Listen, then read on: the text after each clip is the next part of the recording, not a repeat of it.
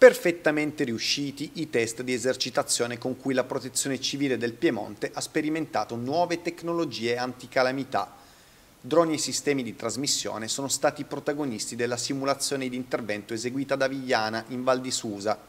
Si tratta del progetto FASTER che vede la collaborazione tra diversi enti di ricerca applicata europei.